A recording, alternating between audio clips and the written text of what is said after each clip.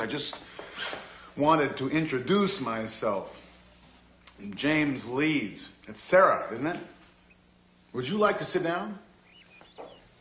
Right here?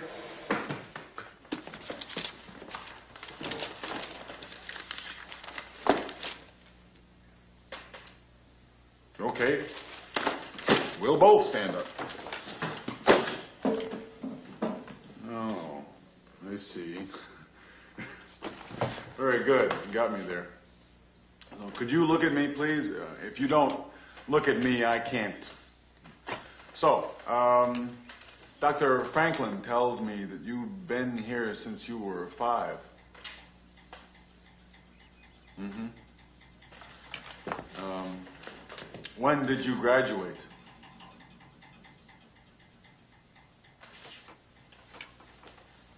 And uh, now, now, now you work here. Are you reading my lips?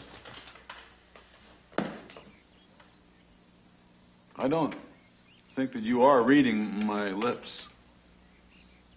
Oh, gee, that was quick of me, wasn't it? You could have told me. Why? Well, how about common courtesy? How about me getting out of here so you can mop the floor?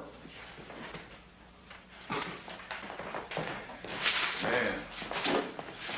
No, if if you let me, I bet I could teach you how to speak.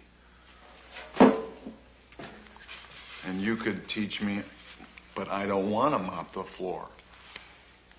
Gee, that was quick. And you don't want to speak. Brilliant.